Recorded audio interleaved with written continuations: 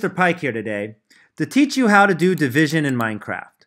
We're going to go over two problems and build math models that answer how to divide things equally. All right, let's get to our first question. Hello Kitty, Baby Yoda, and Captain America had a business making movies. One day they made $963. If they share the money equally, how much did each friend make? So we're going to take a big pile of money, in this case it's $960, and we're going to divide it equally among three friends, just kind of like you did in your counting collections. So, first thing we need to do is to figure out what's the big number. Is it the 963 or the 3? 963. We call that number the dividend. That means how much in total. That's your big number, the dividend. 963.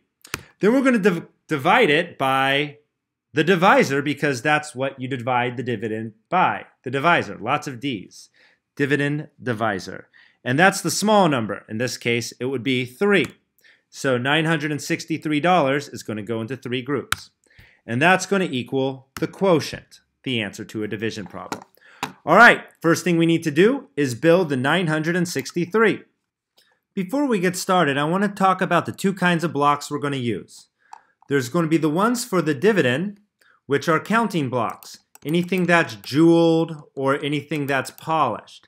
You can tell that they're counting blocks because they have lines, and you can easily see that there's four blocks. Now, the blocks we're going to use for the quotient are concrete, and you're going to be able to see them more like this. You'll see them more in sections. See, you can't really tell how many blocks are in that because they blend together. Well, counting blocks have clear defined lines. All right, let's build the dividend with counting blocks. All right, so first thing we need to do is mark our place value. So we'll have 963, the highest one is the 100, so 100. And let's put the blocks that go into the hundreds. So that's 900. So 100, 200, 300, 400, 500, 600, 700, 800, 900, 900. Now let's do our tens place. And that would be 60. So 10, 20, 30, 40, 50, 60. And our ones place right here. And then we have three there. So one, two, three. Now we're going to make our division sign.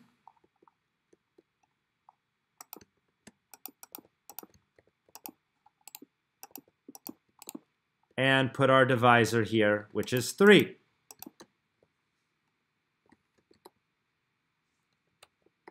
Pause the video, take a look, and build it for yourself. Now that we got our problem built, we're ready to solve it.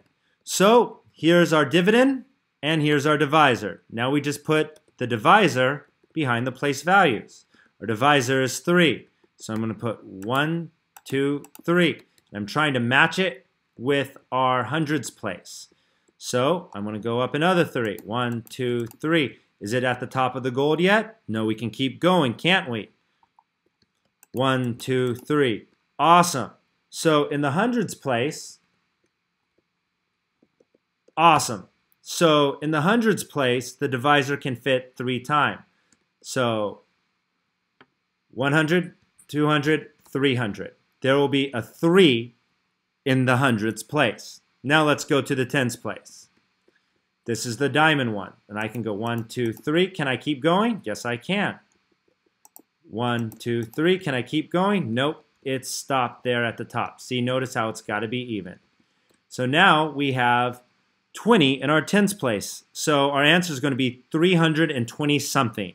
So let's go to our ones place. And it fits in once. The divisor fits in once. So our answer is 321.